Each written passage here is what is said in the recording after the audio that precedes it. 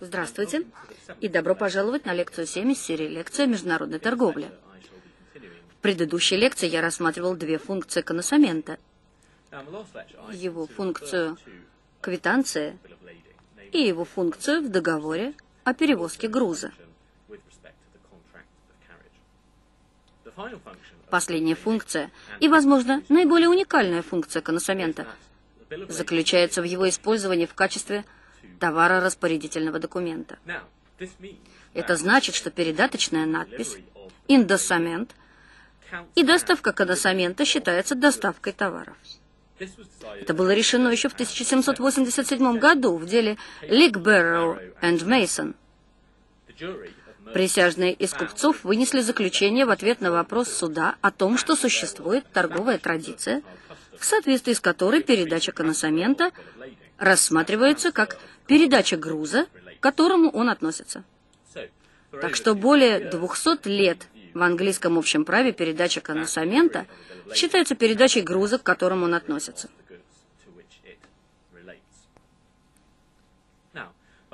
Я бы хотел прежде всего рассмотреть ситуацию с английскими юридическими обязательствами.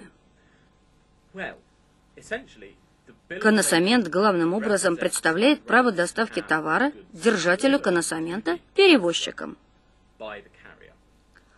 Перевозчик обязан осуществлять доставку товаров держателю коносамента по прибытии в порт.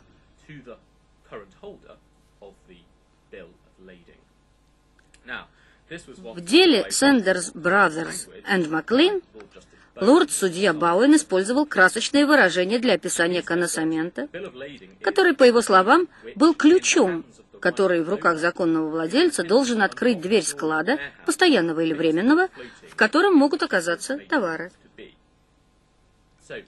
В данном случае метафорой явно является коносамент, как ключ к доступу к товарам на судне, когда оно прибудет в порт назначения.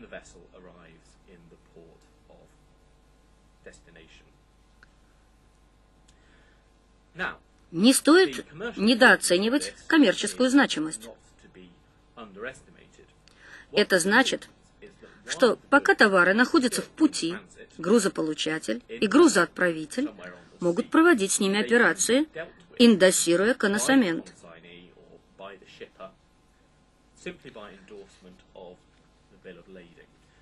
Это значит, что право требования доставки товаров с индосированным коносаментом допускает использование товаров, которое в противном случае было бы невозможно.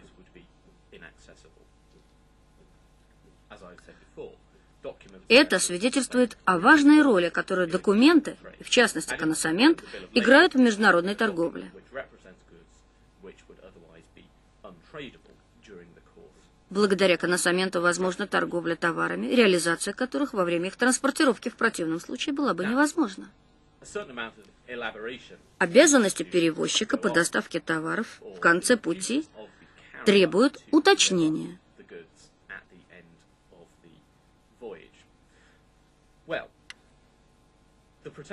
Защита действует в обоих направлениях. Владелец судна имеет право отказаться от доставки, если только не будет коносамента. Он не обязан осуществлять доставку кому-либо, не имеющему коносамента. Однако судовладелец будет защищен, если осуществит доставку при наличии документа оригинала. Примером служит дело Glen Mills and Carre versus East India Dock, которое рассматривалось Палатой лордов в 1882 году. В данном случае, по просьбе грузоотправителя, после отгрузки судовладелец подготовил три коносамента. Грузоотправитель передал и индосировал два из этих коносаментов индосату. Но грузоотправитель оставил один коносамент себе и нечестно воспользовался им для того, чтобы получить товары, когда они прибыли в порт назначения.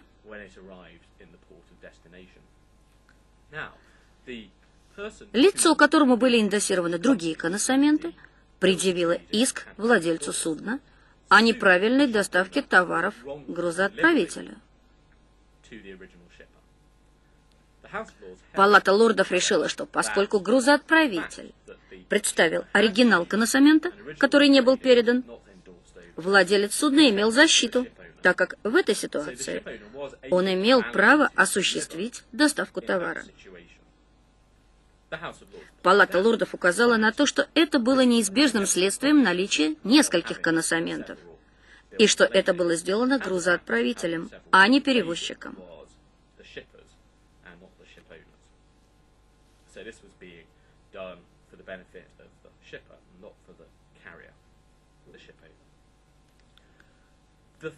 Третье правило заключается в том, что перевозчик будет обязан возместить ущерб законному владельцу товаров в соответствии с коносаментом, если он осуществит поставку какому-либо еще, у кого нет юридически действительного коносамента, даже если перевозчик осуществит доставку правильно и без нанесения ущерба.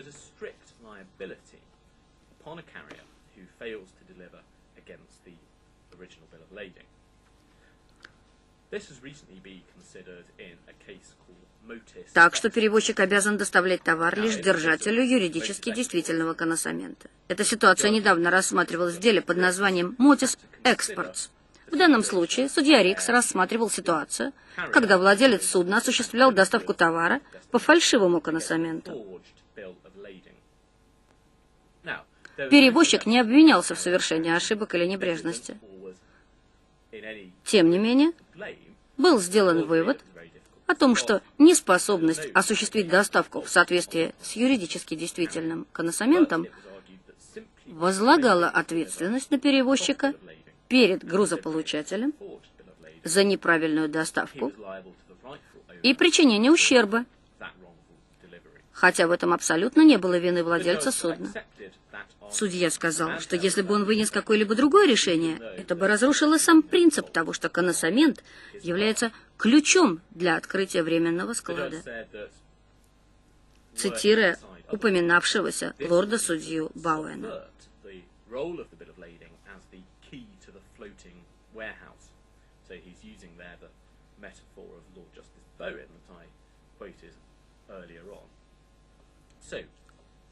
Такова была первая причина.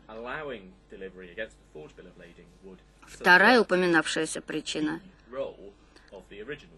заключалась в том, что из двух лиц, держателя юридически действительного коносамента и перевозчика, именно перевозчик должен нести бремя обмана в подобном деле, так как перевозчик мог защититься от подобного обмана, делая свои коносаменты более четкими.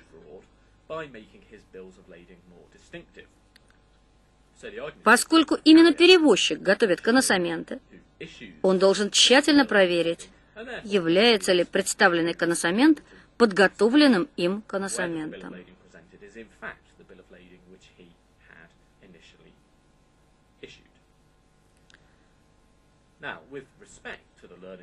Мы можем поспорить с судьей по этому вопросу, так как коносаменты готовятся в стандартной форме, и можно поставить под сомнение идею о том, что каждый коносамент является уникальным или может отличаться от других.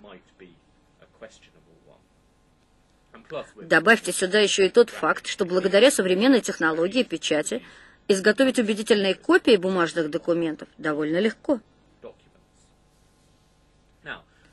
Further criticism of this decision in Motis Exports is that the innocent carrier is being made liable for fraud in situations where it's not obvious that it is the carrier who should have the risk of fraud.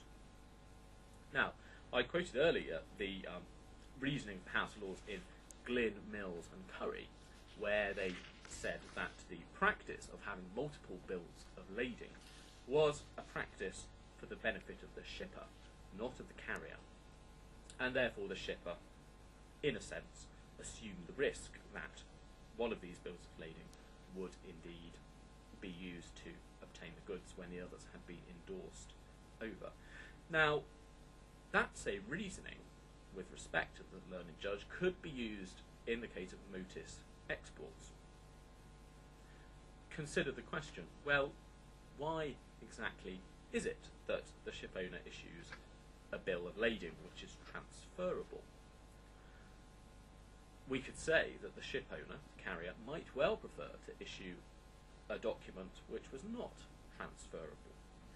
If he was to issue a document which was not transferable, there would be no danger at all of there being an eventual forgery of this kind, because the consignee, the intended recipient of the goods, would be known and certain from the very beginning of the voyage. As we'll see in a moment, in fact, in international trade today, it is fairly common for non-transferable documents to be issued by the carrier in place of the bill of lading. In essence, then, it is the shippers, the people who own the goods, who demand this idea that there be a transferable bill of lading, because this gives them the benefit of dealing with goods while they are at sea. But we could say that having this idea of transferable documents has an inevitable risk of fraud, and if it is for the shipper's benefit that this practice is being adopted, then we could say that it's the shipper who should bear the risk of fraud. So, to reiterate, this recent case in 1999 has affirmed very strictly the rule that the carrier should only deliver against the real, true bill of lading, and that he is strictly liable, that is, liable without fault, even in the case of a forged bill of lading. Now, the second aspect of this same case, Motis Exports, went to the Court of Appeal, and this was on a clause in the bill of lading which I will read out to you. Clause 5.3 said where the carriage called for commences at the port of loading and or finishes at the port of discharge, the carrier shall have no liability whatever for any loss or damage to the goods before loading or after discharge over the ship's rail, however caused. So, in summary, there, this exemption clause in the bill of lading was saying that the carrier had no responsibility for any damage after they had left his possession however caused. Now, the argument for the carrier was that the damage that had been caused was the fraudster taking away the goods after they had been discharged from the ship, and that that was covered by this exemption clause because this was damage which occurred after they had left the carrier's custody. Now, the Court of Appeal rejected that argument. The Court of Appeal adopted the rule that any exemption clause in a contract is to be construed strictly against the person trying to rely upon it. So this is the contra proferentem rule of contractual construction, which applies to any exemption clause. And that will be familiar to you from the contract law and practice aspect of this course on English law. Now, this, again, with respect to the Court of Appeal, may be criticised because presumably the court would have to admit that if the goods were being carried from the ship to the port on a lighter and that lighter was to sink and the goods were lost on the bottom of the seabed, well, then this clause that I've read out to you would indeed cover that loss and the carrier would not be liable. Therefore, we can ask, well, what is really the difference here? It's as if the goods have been stolen by the fraudster, and why should it make any difference whether the goods are lost, that is, lost by the intended consignee, whether they are lost by an accident which sends them to the bottom of the seabed, or whether by a deliberate fraud which simply takes them into the hands of a thief. There seems to be no obvious difference between the two and in a comment in the Lloyd's Maritime and Commercial Law Quarterly, Mr. Brian Davenport, QC, has commented that one is forced to say that there is a fundamental obligation to deliver, and that by some legal magic the exception clause does not apply when it would otherwise apply. He goes on to mention that this comes perilously close to, if not actually to be, the doctrine of fundamental breach, notwithstanding the fact that that doctrine was disapproved by the House of Lords in Photo Productions and Securicor Limited in 1979.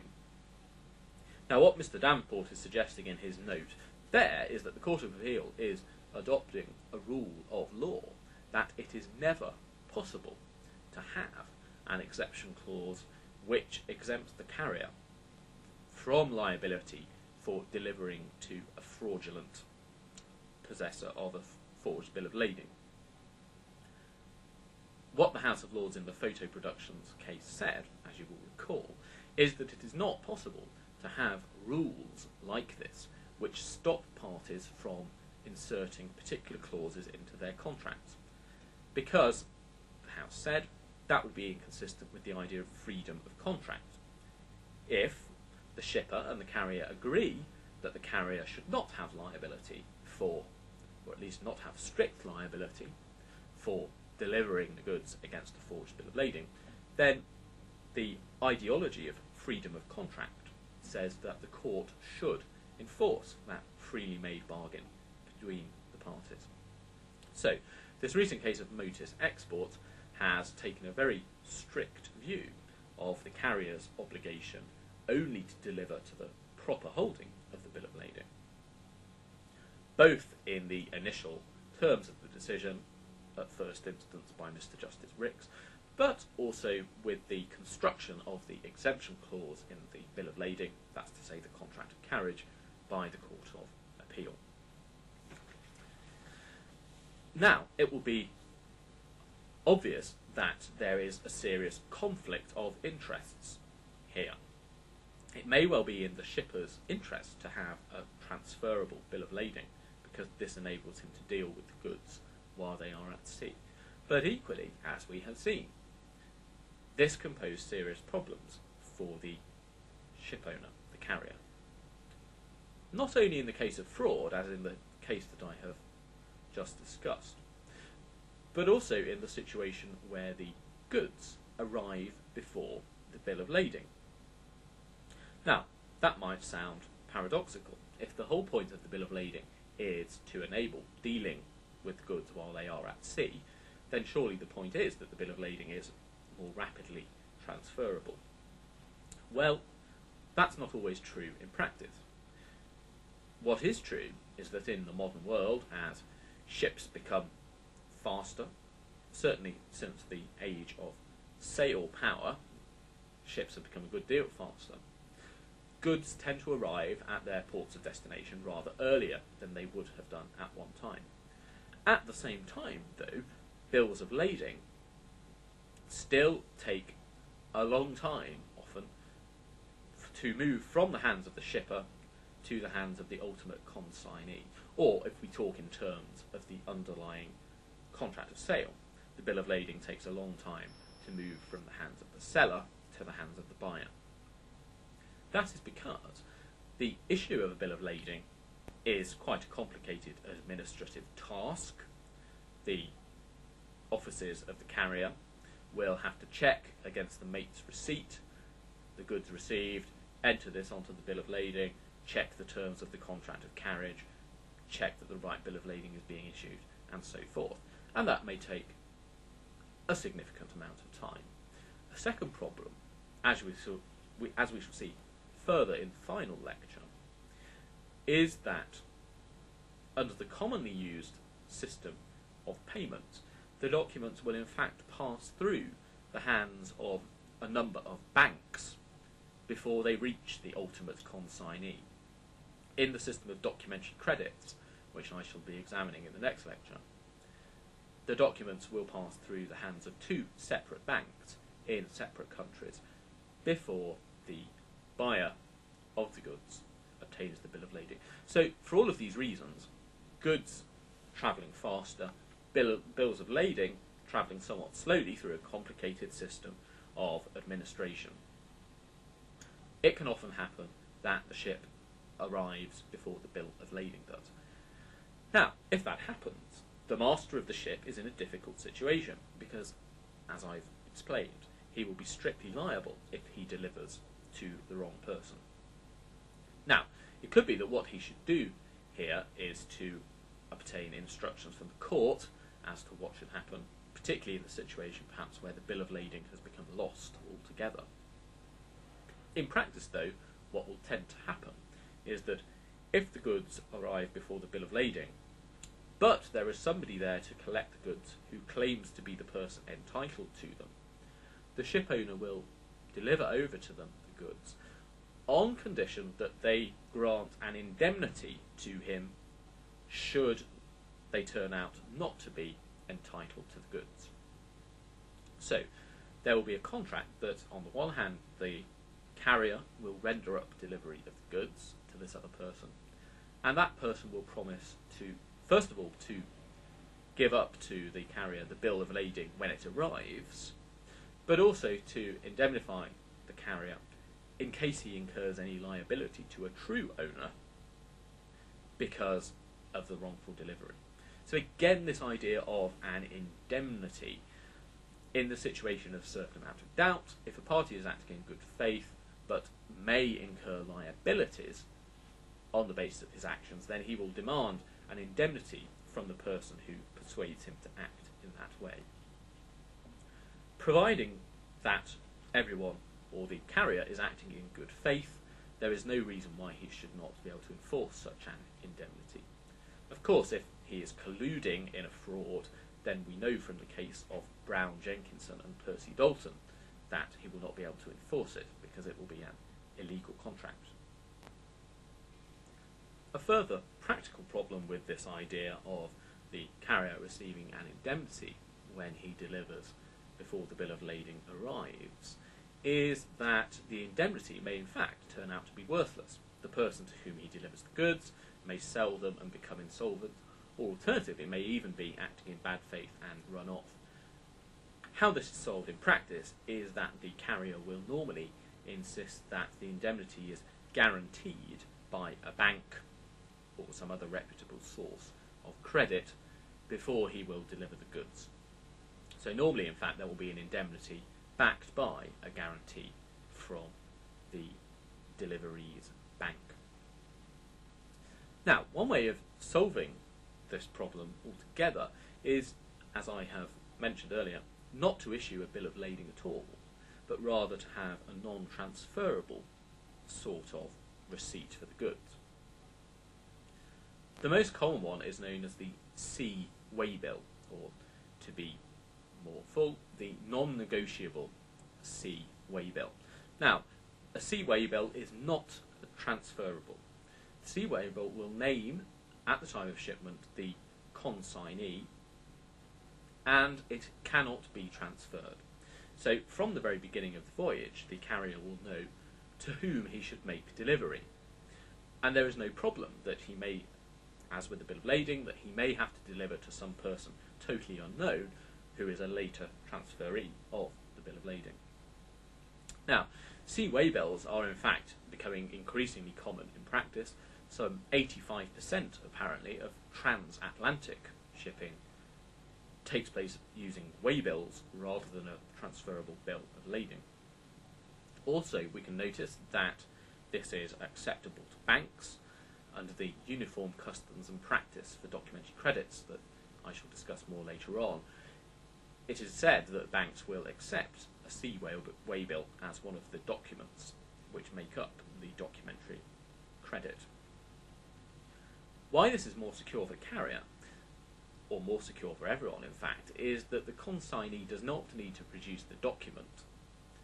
Therefore, there is no problem of the goods arriving before the document the consignee does not need to produce the waybill. All that he needs to do is to prove his identity.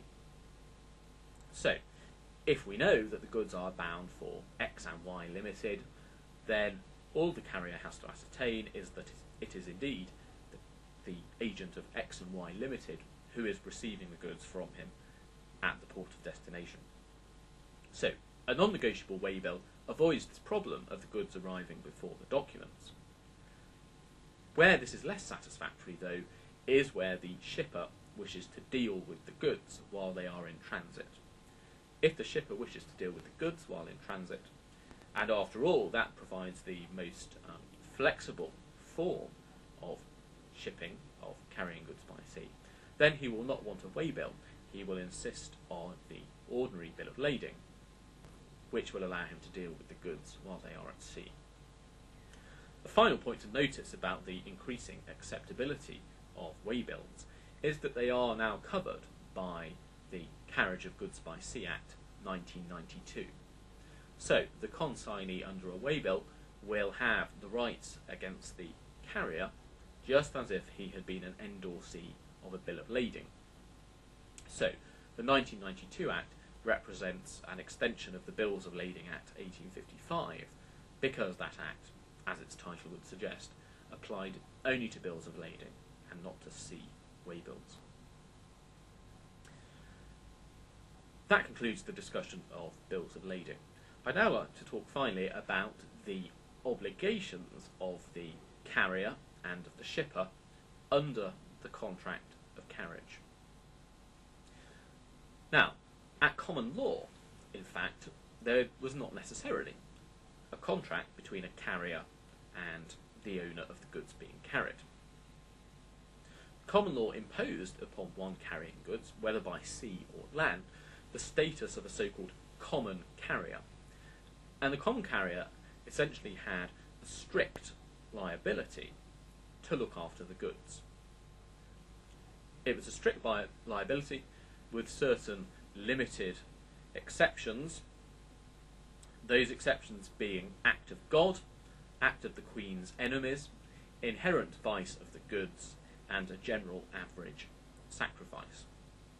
I'll come back to explain what those mean later on in this lecture. But for the time being, what should be noticed is that at common law, any carrier of goods had a strict liability, so a no fault liability.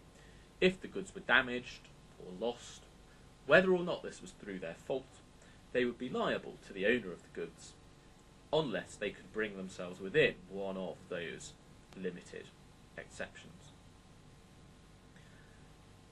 In practice, however, at least by the 19th century, it was very rare for goods to be carried without such a contract.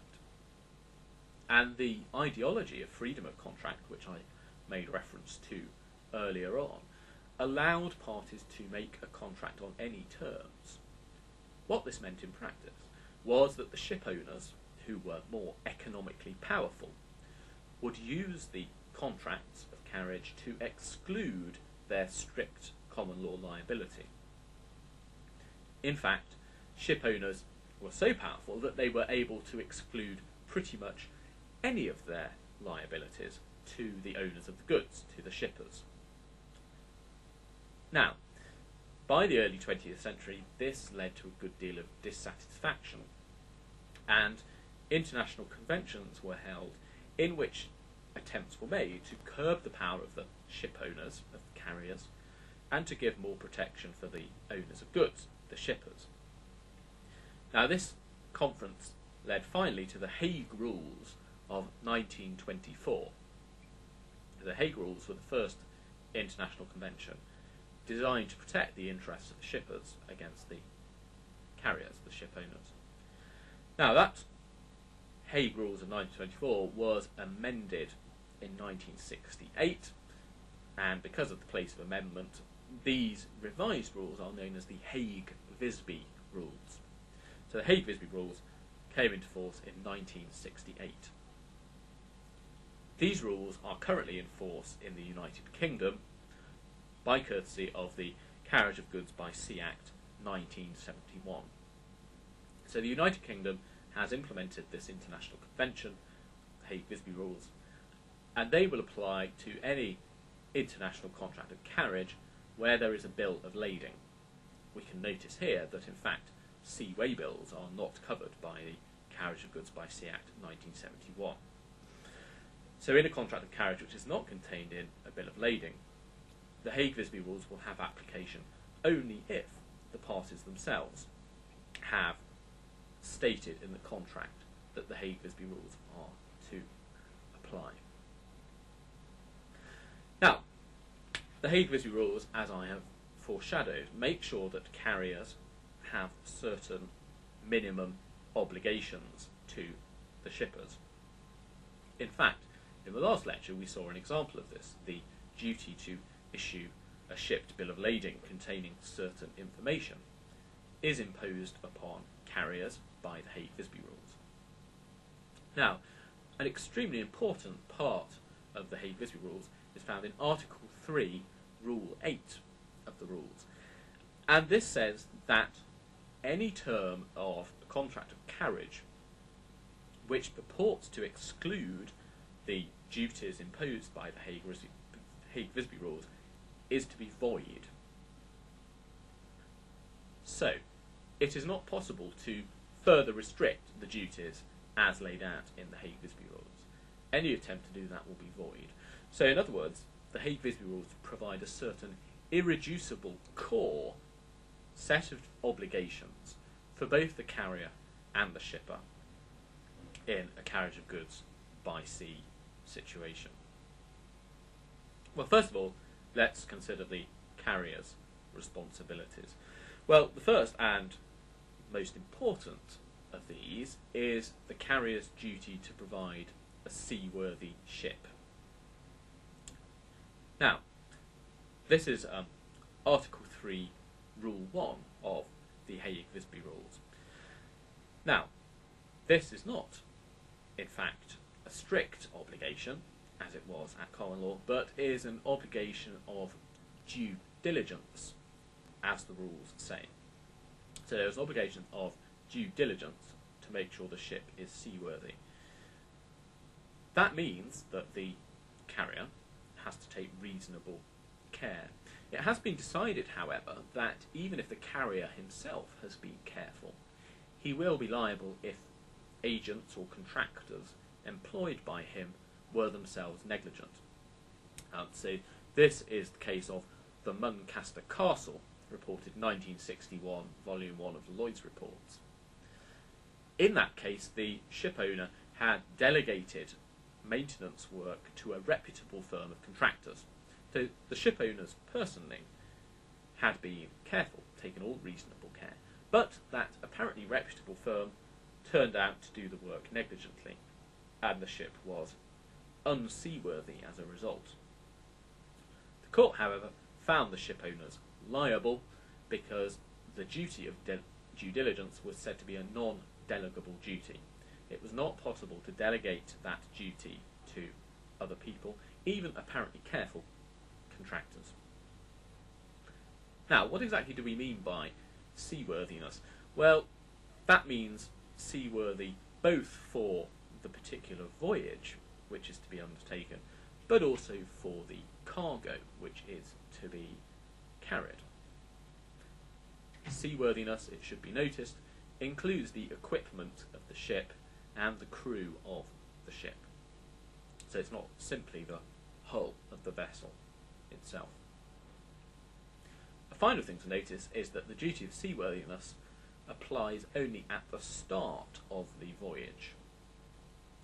A ship which becomes non-seaworthy later on in the voyage, perhaps as a result of some inherent defect or some accident, will not result in a breach of the Hague-Visby rules.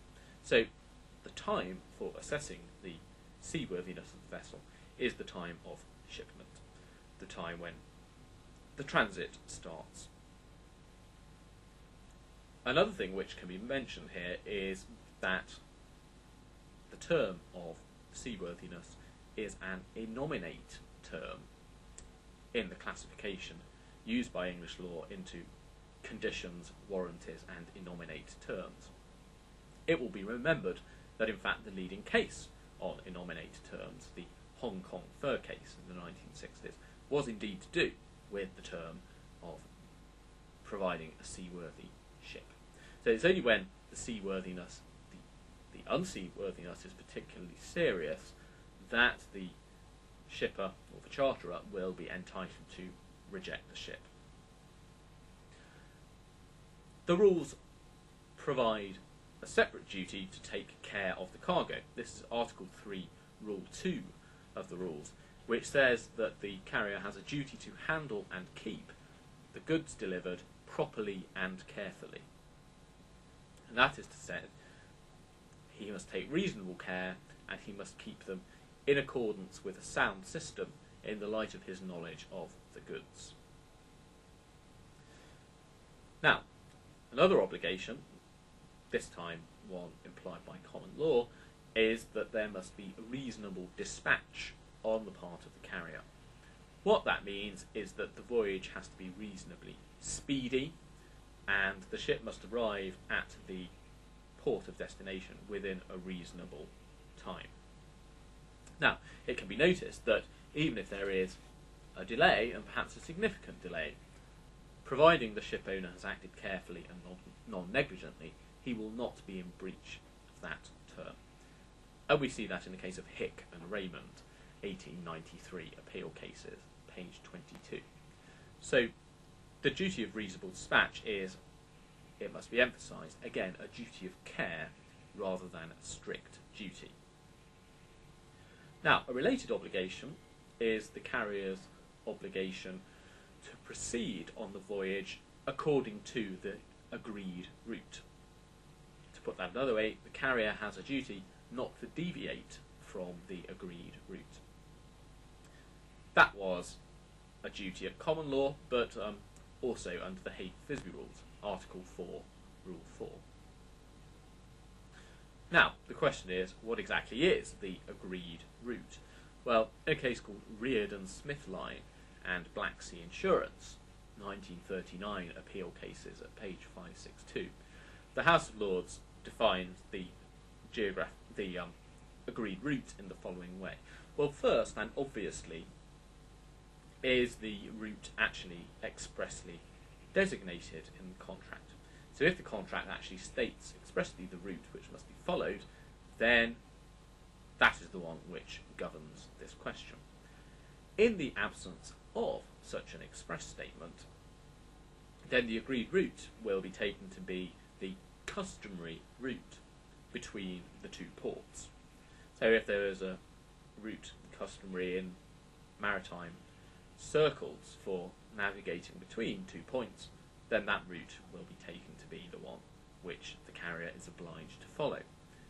Finally, however, in the absence of any other evidence, that customary route will be taken to be the direct geographical route. So, the three possibilities in descending order are first of all an express obligation in the contract, secondly, a customary trade route, or thirdly, the direct geographical route. Now, there are certain agreed deviations which can be allowed. Now, at common law, these justifiable deviations were of two varieties. The first was a deviation from the agreed course to save human life was a justified deviation. Secondly, was the fact that the deviation was necessary to avoid danger to ship or to the cargo. When the vessel itself or the cargo was in danger, it was possible to deviate from the agreed route. And indeed, it has even been held that that was so when the reason for the danger to the ship was in fact its own unseaworthiness. That was the case of Kish and Taylor. And that decision seems, with respect, to be very sensible. If the ship is leaking and is likely to sink, then it would seem rather strange if the ship owner was in breach of contract for going into port and attempting to stop the ship from sinking with emergency repairs. Now, the Hague-Visby rules add further justified deviations to the two common law categories. Now, the first is saving property at sea. So, at common law, only saving human life was a justifiable deviation. The Hague-Visby rules add the saving of property at sea. And finally, the Hague-Visby rules add a rather open-ended exception, and that is any other reasonable diversion is a justifiable one. Now, as it so often happens, this idea of what is a reasonable diversion is a question of fact. However, the English courts have tended to view that final exception very narrowly, and in practice it is the saving human life, saving the ship, saving property. which will be exhaustive of justifiable deviations. Another thing to notice is that a deviation is only a breach of this term if it is a deliberate act on the part of the master of the ship. So, a ship which is blown off course does not, in the relevant sense, deviate from the agreed route. So it has to be a conscious decision to deviate if there is to be a breach of this term. If there is a breach of the duty to follow the agreed route, this is treated as a repudiatory breach of contract by the carrier. That is to say, the contract comes to an end and the carrier loses the protection from liability which he would otherwise have had under the contract. What this means then is that there is no contract and the carrier reverts to the position of the carrier at common law, the common carrier. You will recall that the common carrier had strict duties to preserve the goods, subject to the four narrow common law exceptions. Indeed, in one case it was held that the common carrier could not rely even on those exceptions if the reason why the loss of the goods had come about could be traced to the deviation itself. Now this is the this is the case of Morrison and Shaw Smith, which was decided in 1916 in Volume 2 of the King's Bench Reports. Now, in that case, the carrier had deviated from the agreed route, and while he had deviated, the ship was actually sunk by an enemy submarine which torpedoed it. So, the carrier, this was the time of the First World War, of course. Now, the carrier attempted to rely on the common law exception that acts of the Queen's enemies were an exemption for the common carrier's liability. But the court held that because he had deviated from the route, and it was that deviation which seemed to have caused this torpedoing by the enemy submarine, that he could not rely on even the common law exceptions. Now, a further possibility here is that the terms of the contract may give the carrier liberty to deviate from the agreed route. And indeed, this is commonly called a liberty clause in the contract of carriage. Now, the general rule here is that, as with the exemption clauses, as I discussed earlier on, a liberty clause is construed contra proferentem, against the person seeking to rely upon it, or in other words, against the carrier in this case. The leading case is that of Glynn and Margetson, 1893 appeal cases, page 351. Now, in that case, oranges were shipped В другом деле было необходимо отгрузить апельсины в Малаге и доставить их в Ливерпуль. Согласно договору, как указывалось в коносаменте, судно могло входить в любой порт или порты в любом порядке.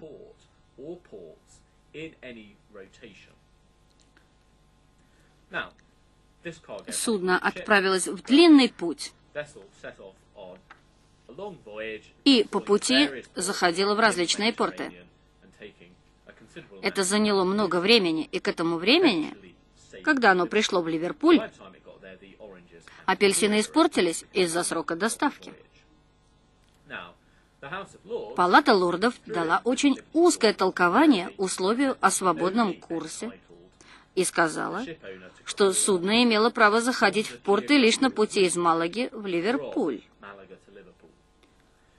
Так что, несмотря на то, что в договоре было сказано, что судно могло заходить в любой порт в любом порядке, это было истолковано как использование лишь портов по маршруту судна.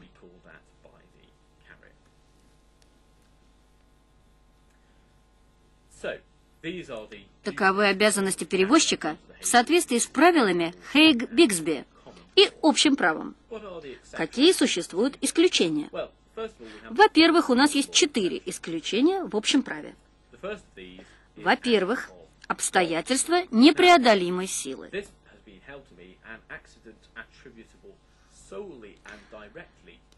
Это несчастный случай, который вызван исключительно естественными причинами. и которого невозможно избежать, проявляя разумную осторожность.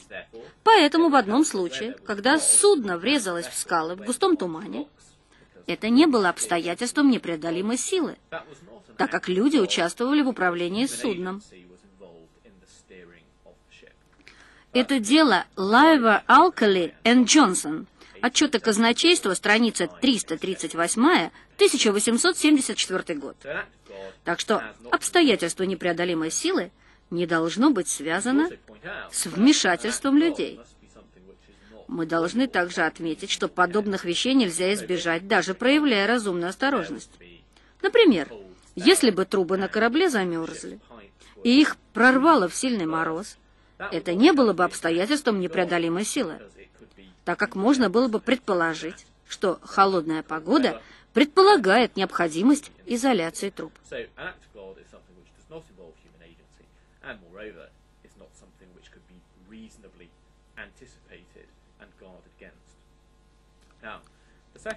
Второе исключение – это действие врагов королевы, то есть врагов во время войны. В деле Саускотс, рассмотренном еще в 1601 году, было дано соответствующее объяснение. Если агенты врага несли ответственность за потерю или ущерб, перевозчик не мог получить возмещение ущерба.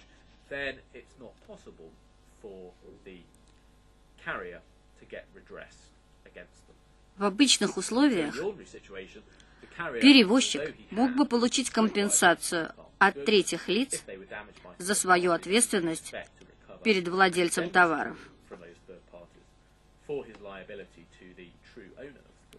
В деле Саускотс было показано, что в военное время нет даже теоретической возможности предъявления иска таким людям. Третье исключение – это неотъемлемый дефект товаров. В данном случае слово «вайс» — «зло» не имеет своего обычного значения, но означает, что недостаток товаров является фактором, из-за которого их качество может ухудшиться. Можно привести много примеров. Металл может заржаветь. Фрукты могут созреть и сгнить. Зерно может перегреться и начать портиться. Так что в случае, когда товары и их упаковка не могут предотвратить ухудшение качества товара во время перевозки, перевозчик ответственности нести не будет.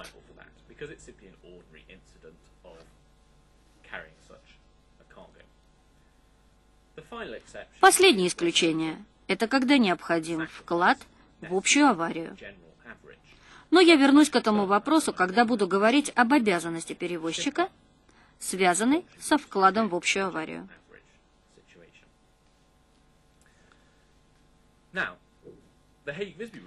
Правила Хейг-Бигсби включают в себя длинный список исключений, освобождающих от ответственности. И они оговариваются в статье 4 правила 2 этих правил. Первое, что необходимо отметить, эти правила не применяются тогда, когда судно было негодным для плавания. Так что если перевозчик не смог предоставить подходящего судна, он не может использовать эти исключения.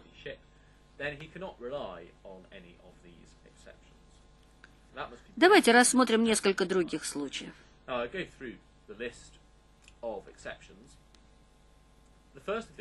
Ненадлежащее управление экипажем и навигация. Перевозчик не несет ответственности за нанесение ущерба товару, если это вызвано управлением судна экипажем или навигацией. Это условие подвергалось критике как слишком широкое. Если в обязанности судовладельца входит обеспечение судна, годного для плавания, и экипажа, было бы неправильно, если бы он мог избежать ответственности, обвинив экипаж. Кроме того, перевозчик не несет ответственности за пожар, если только это не его личная вина. Следующее исключение – морские риски. Это также неожиданные и неизбежные события,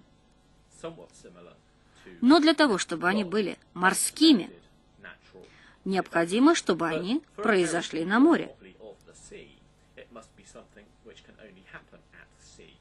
Большие волны – столкновение с другими судами или портовыми стенами. Все это морские риски, так как они могут иметь место только на море. Однако ущерб, причиненный молнией, туманом, морозом, не входит в эту группу, так как все это могло произойти и на суше. Любое судно, годное для плавания, должно быть в состоянии вынести обычное действие ветра и волн, Поэтому они не будут считаться исключительными событиями.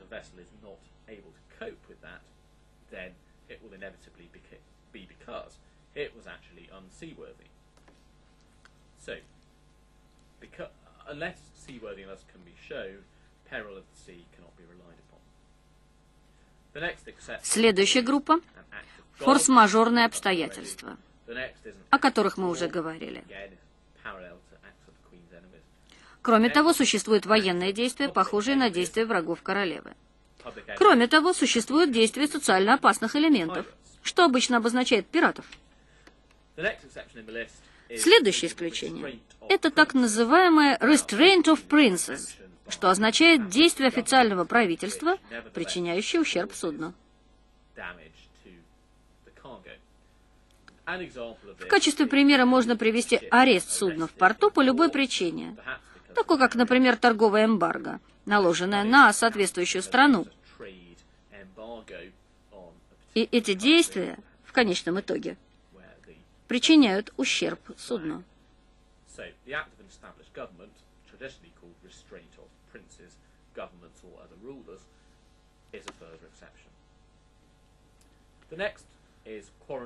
Следующее исключение – это карантинные ограничения, что говорит само за себя. Затем идут упущения самого грузоперевозчика. Так что если виноват сам грузоотправитель, владелец груза, тогда перевозчик избежит ответственности. Затем идут забастовки, локауты и прекращение работы по любой причине, политической или общей. Это означает определенные конфликты в промышленности под руководством профсоюзов, ведущие к повреждению груза.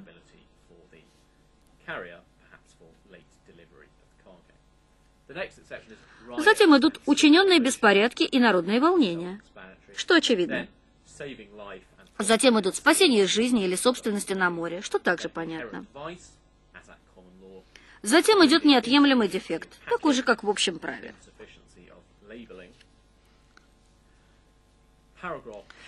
Параграф П оговаривает скрытые недостатки, которые невозможно выявить при серьезном осмотре.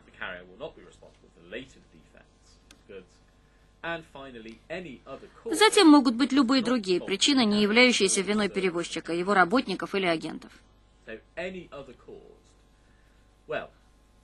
В нормальной ситуации исключение должно соответствовать более ранним исключениям.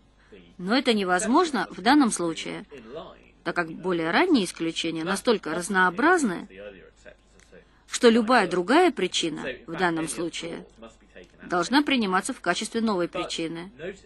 Но не забудьте о том, что грузоперевозчик должен доказать, что он не был виноват. Так что бремя возлагается на перевозчика. И это верно для всех этих исключений.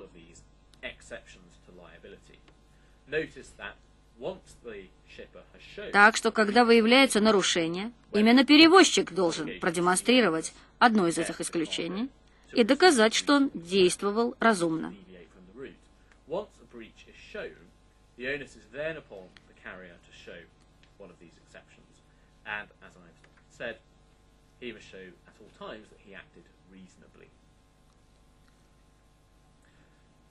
Now, у грузоотправителя также есть определенные обязанности в соответствии с договором о перевозке. Одна из его обязанностей заключается в том, что он не должен отправлять опасные товары без уведомления перевозчика.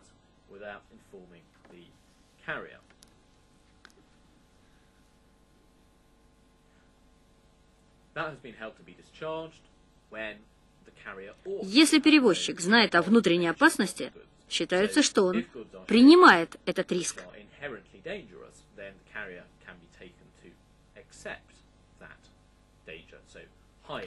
Взрывчатые вещества, например, означают, что он знает об опасности.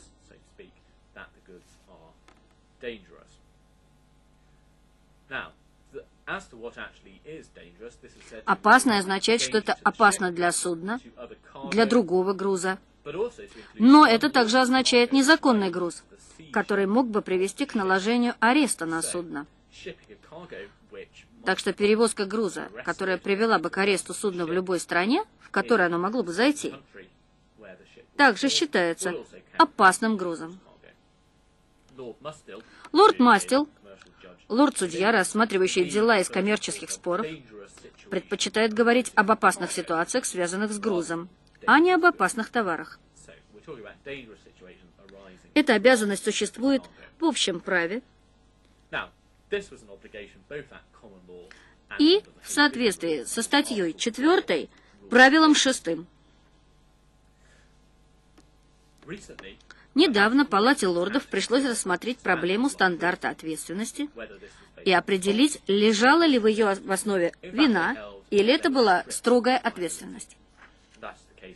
В деле The Giannis N.K. 1998 год, том 1, английские отчеты, страница 495, был сделан вывод о том, что это строгая ответственность.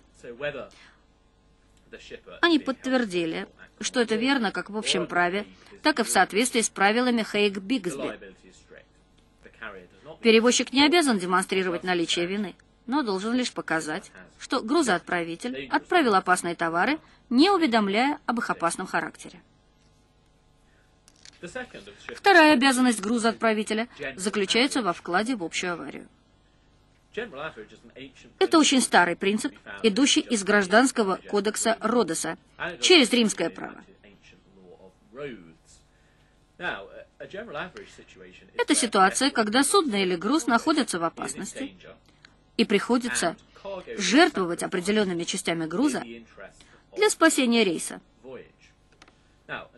Например, судно застревает на песчаной мели, и груз выбрасывается за борт для того, чтобы уменьшить вес судна и снять его с мели. В такой ситуации те, кто получает выгоду от жертвы, должны выплатить компенсацию тем, кто несет убытки из-за жертвы на пропорциональной основе. Так что если приносится в жертву груз или часть судна, грузоотправитель обязан компенсировать грузоотправителю убытки, понесенные во время рейса в подобных чрезвычайных обстоятельствах.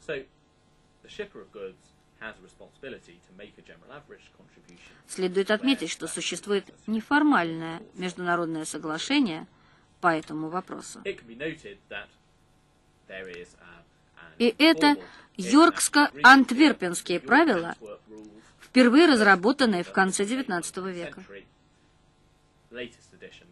Их последний вариант был принят в 1994 году.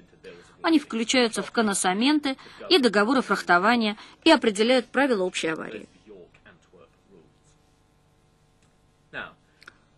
Еще одна обязанность грузоотправителя – оплата фрахта. Обычно оплата происходит при погрузке. Но иногда это может быть freight collect, когда фрахт оплачивает грузополучатель. Если фрахт не оплачен, тогда перевозчик имеет право наложения ареста на имущество для реализации своего права на получение оплаты. Вы встречались с правом наложения ареста на имущество, когда говорили о продаже товаров в первой части курса. В данном случае грузоперевозчик имеет право удерживать товары до того, как не будет произведена оплата. Товары являются обеспечением этого платежа. Парламент фактически предоставил грузоперевозчику законное право продажи товаров через некоторое время. Так что в соответствии с законом о перевозке товаров 1894 года, часть 7, в случае, если товары не забрали в оговоренный срок или в течение 72 часов, грузоперевозчик имеет право продать эти товары для компенсации стоимости фрахта в течение 90 дней со дня выгрузки или ранее, если товары являются скоро портящимися. Он также имеет право разгрузить товары и поместить их на склад на суше, и он имеет право наложить арест на имущество для оплаты расходов по хранению. И это может быть реализовано таким же образом, с помощью закона о продаже товаров в соответствии с законом о перевозке товаров 1894 года. На этом я заканчиваю лекции о перевозке товаров по морю. В нашей последней лекции мы поговорим о финансировании международной торговли, в частности, о системе документарных аккредитивов.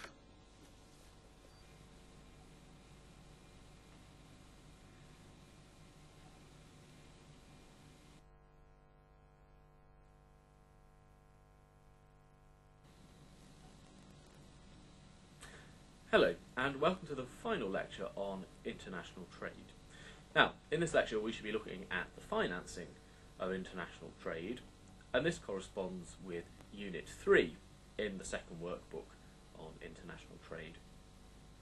Now, in this lecture, I shall be concentrating upon the system of documentary credits, which are a very important feature of the financing of international trade.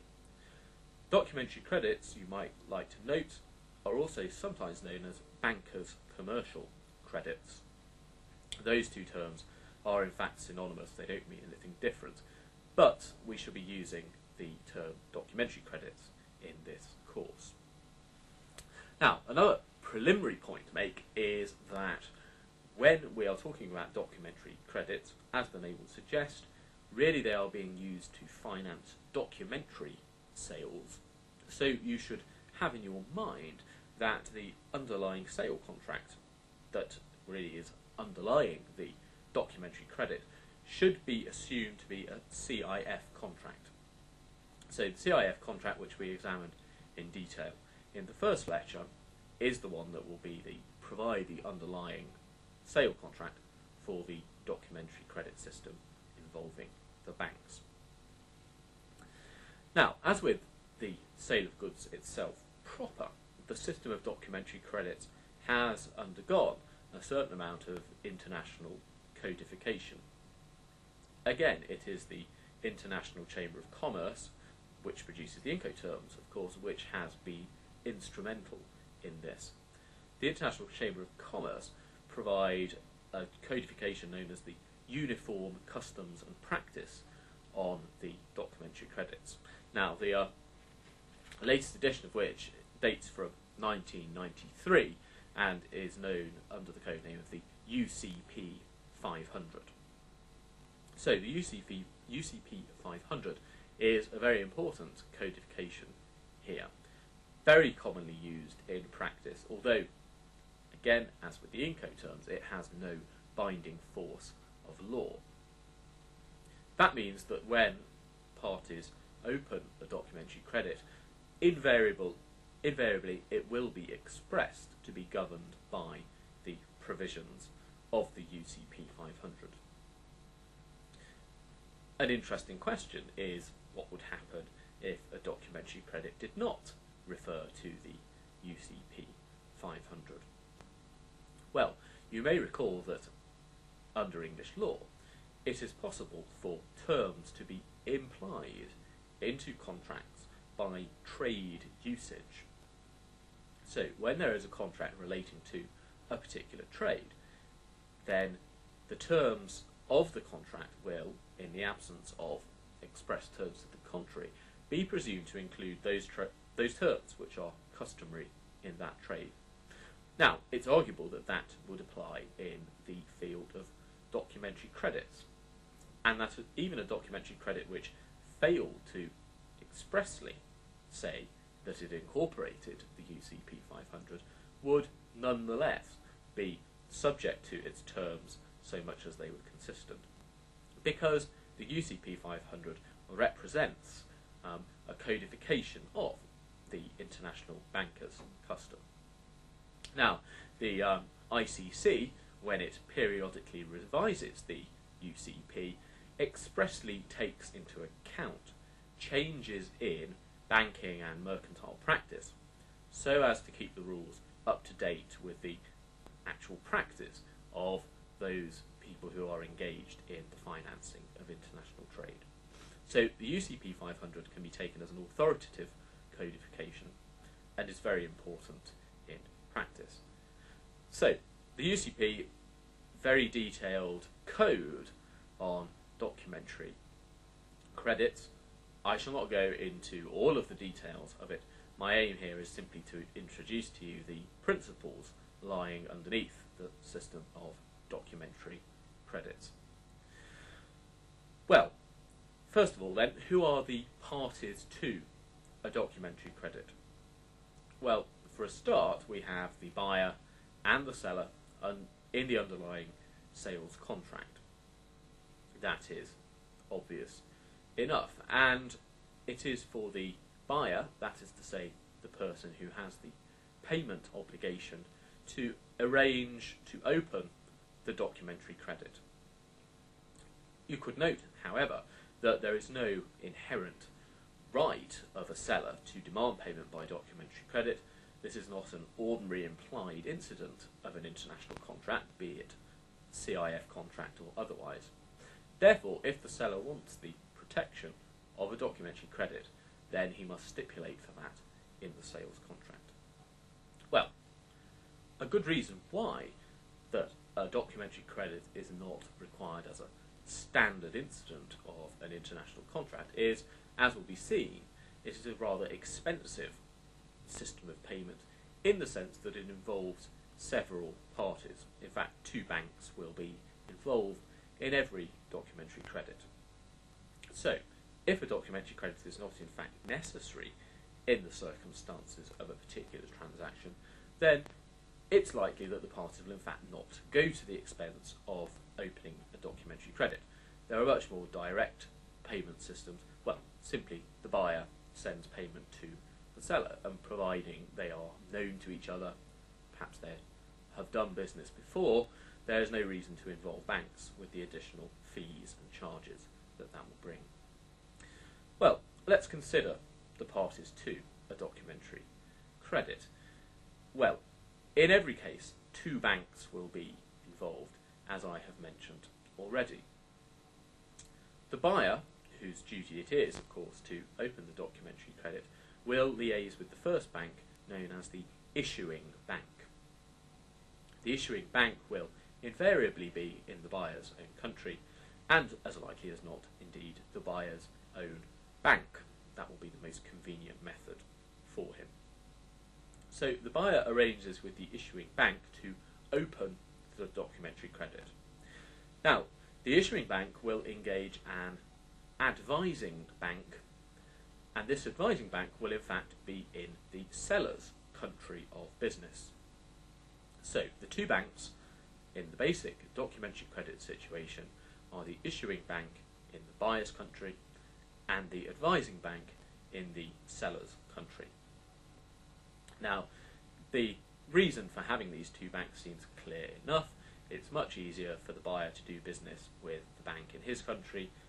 Likewise, the advising bank being in the seller's country is convenient for him.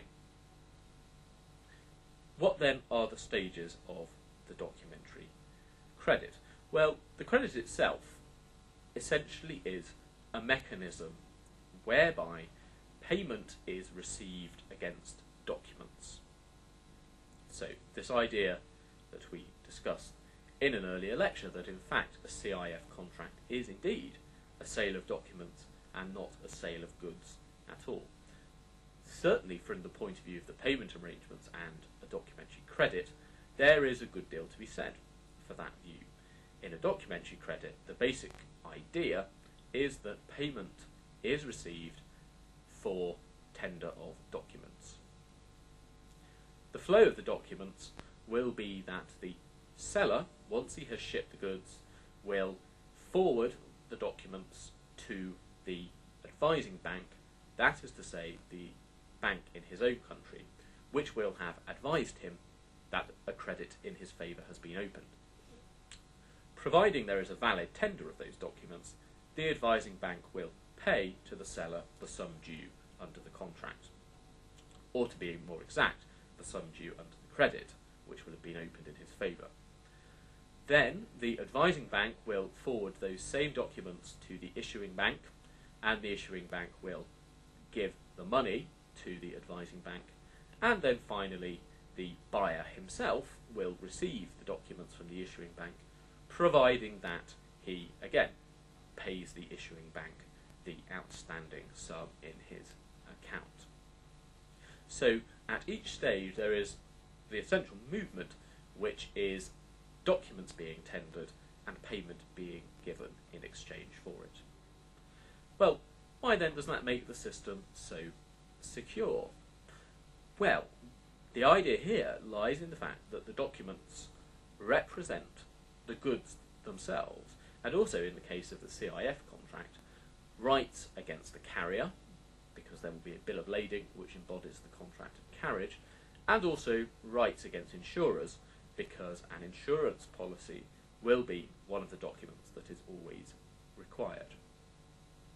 Now, what that means is that should a party further down the line become insolvent, the party immediately before it will in fact not be left in a situation of not being able to claim its money, because what it can do is realise the security of the goods in the underlying transaction by using the documents to gain control of them.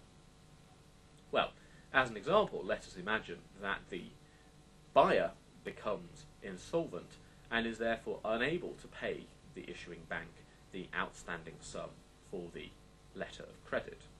Well, in such a situation, the issuing bank will not be left empty handed because it will have to hand the shipping documents, so the invoice, the bill of lading, and the insurance policy. And simply what it will be able to do is to sell those documents, representing, of course, the goods shipped, and therefore to realise its security in that way.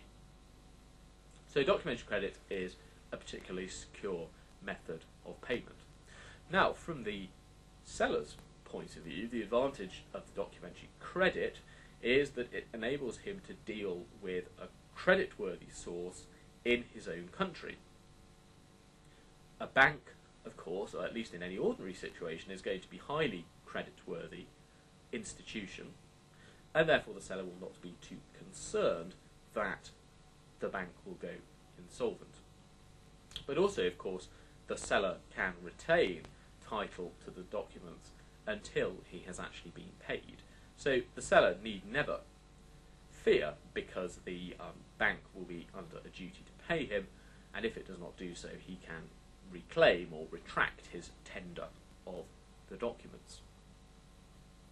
Equally, of course, the fact that the advising bank is in the seller's own country, as that will be the normal position, provides definite practical and logistical advantages for him.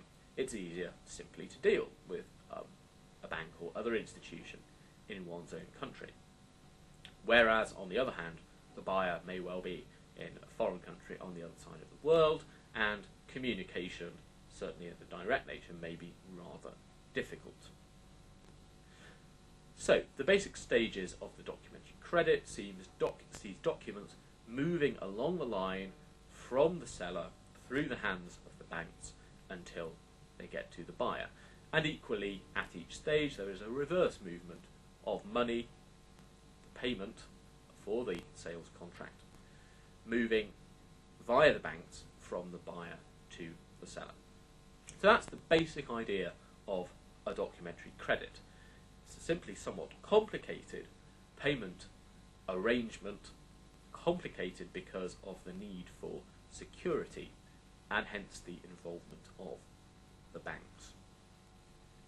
Now, the uh, credit that I have described so far is what might be called an unconfirmed credit. In an unconfirmed credit, there is only one bank which has an obligation to pay the seller, and that's the issuing bank. The issuing bank, when it opens the letter of credit, comes into a contractual arrangement with the seller. The terms of that contract being that the seller will receive payment from the issuing bank on a correct tender of the documents. Now, the advising bank in an unconfirmed credit is simply acting as agent of the issuing bank. Now, an agent is someone who acts on behalf of his principal. That means that he is able to bind his principal to a contract. An agent normally has power to contract on the part of his principal. But even though it might appear to the observer that the agent was making the contract, in fact the contract will be made with the principal. So, although the seller might appear to be dealing with the